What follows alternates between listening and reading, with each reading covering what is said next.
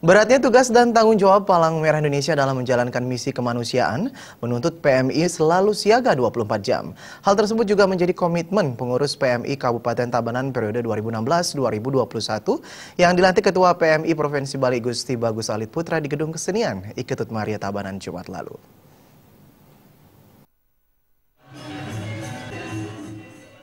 Bupati Tabanan dalam sambutan tertulis dibacakan Wabub Sanjaya mengatakan, Pengurus PMI Kabupaten Tabanan yang baru dilantik merupakan pengurus yang dibentuk dari hasil musyawarah kabupaten melalui tim formatur.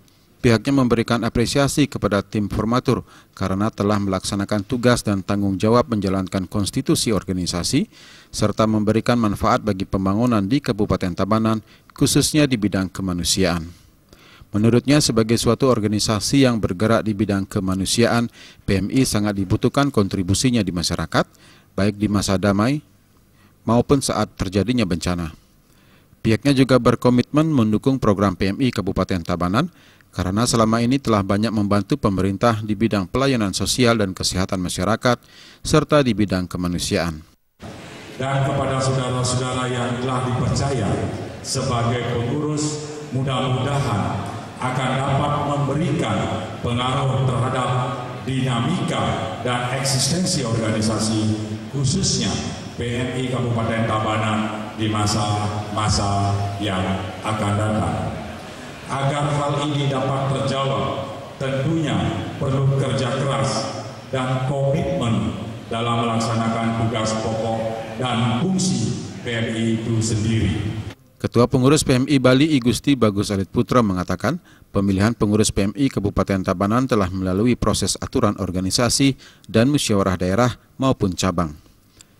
Pihaknya mengucapkan terima kasih kepada panitia Muscap sehingga acara bisa terselenggara. Menurutnya PMI selama ini telah melakukan berbagai program seperti pelayanan kegiatan sosial masyarakat serta menyiapkan darah yang cukup dan steril. Dirinya juga berharap kerjasama antara PMI dan Pemkap terjalin dengan baik dan harmonis.